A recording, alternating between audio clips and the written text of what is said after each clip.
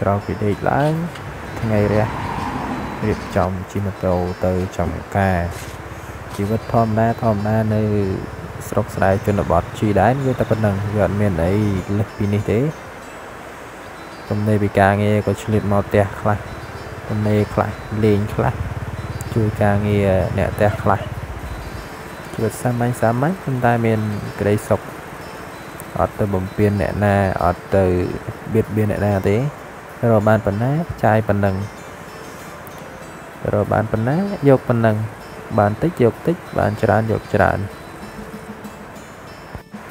ក្តីសុខនៅអ្វីដែលមាននៅជុំវិញខ្លួន មានគោ